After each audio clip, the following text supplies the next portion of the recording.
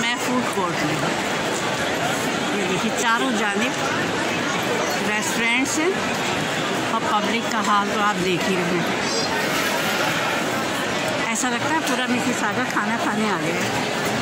food court आके बैठ गया